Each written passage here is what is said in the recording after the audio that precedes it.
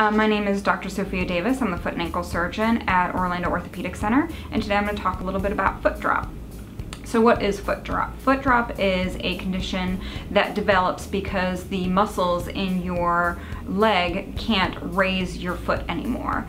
Uh, the reasons that the muscles fail can be a variety of different reasons. Some of them include uh, traumatic conditions like compartment syndrome. Some of them include uh, patients that have a stroke.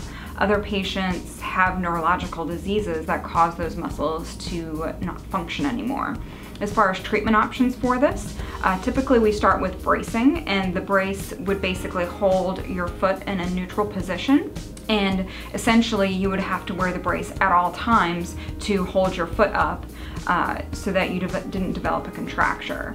Uh, when patients become sick of their brace because they're tired of wearing it all the time, then we start thinking about surgical options. And there are tendon transfers that can be done that will basically be able to function like those other muscles did to lift your foot up. And our goal is for you to have a much more normal gait.